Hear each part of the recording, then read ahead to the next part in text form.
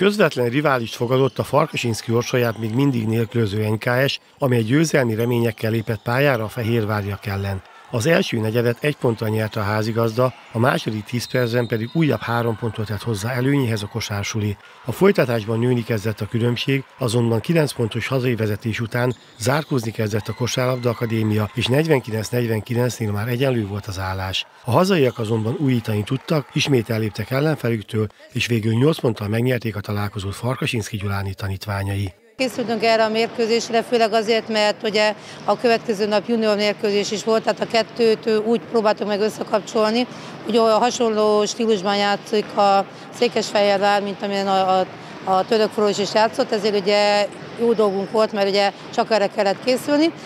Jó formát fogtak ki az idősebb játékosaink, tehát itt ugye a Vivien és az Anna azok most kimondottan jól szálltak be a mérkőzésben, és ehhez ugye sikerült a juniorok közül is három-négy embernek olyan jó teljesítményt nyújtania, ami, ami mindenféleképpen eredménye az, hogy megnyertük ezt a mérkőzést.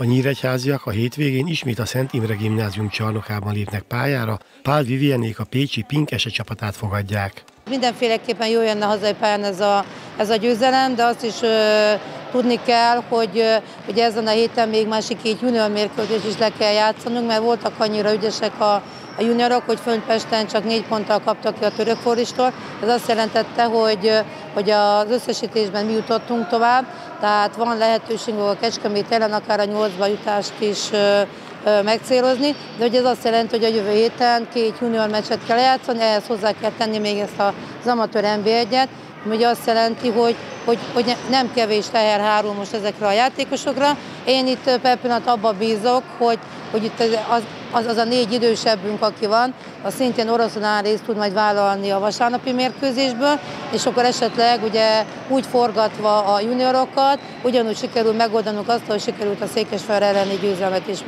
megoldani. A tabella élén a TFS jár 100%-os teljesítménnyel, megelőzve a 14 egyes mutatóval rendelkező csata DS-ét. A Nyíregyházi kosársuli négy győzelemmel és 10 vereséggel a tizedik helyen várja közvetlenül mögött álló Pinkese vasárnapi vendégjátékát.